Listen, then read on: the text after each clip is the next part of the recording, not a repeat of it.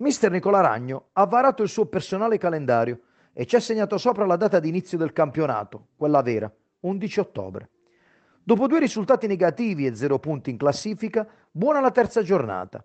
La domenica in cui il Bitonto ha superato agevolmente un pur volenteroso Molfetta. Un mese di allenamenti col torneo già in corso, però, dà il segno di una precarietà che è bene non dimenticare mai e che va domata con l'impegno atletico quotidiano e l'affinamento degli automatismi tattici.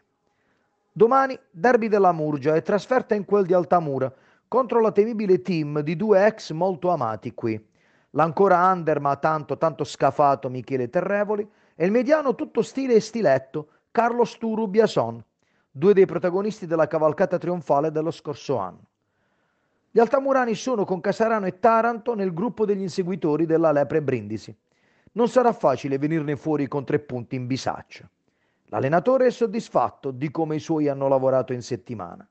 Questa settimana è la prima settimana dove ho avuto tutti disponibili, a parte gli infortunati, per il resto una rosa di 22 elementi che sono tutti disponibili, quindi andremo, eh, la, ripeto come ho detto prima, con la consapevolezza dei nostri mezzi e cercando di, di, di portare via i tre punti fuori casa ad Altamura. Eh, lavoreremo già la settimana scorsa abbiamo fatto qualcosa, questa settimana abbiamo fatto altro e man mano alzeremo l'asticella sia sotto l'aspetto fisico ma soprattutto anche sotto l'aspetto tattico. Nel frattempo due nuovi puntelli sono arrivati ad irrobustire l'ossatura di Leoncelli, due giocatori che eleveranno ulteriormente il tasso qualitativo dell'organico. Francesco Agresta, centrocampista trentenne ex Grumentum Valdagri, e Vittorio Triarico, esterno d'attacco classe 89, proveniente dal Monopoli.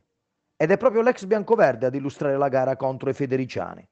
Adesso domenica ci aspetta una partita importante che sappiamo che dobbiamo affrontare con la massima intelligenza e con la massima attenzione perché affrontiamo una buona squadra. Penso che la squadra questa settimana si sia allenata molto bene, adesso non ci resta che affrontare la partita.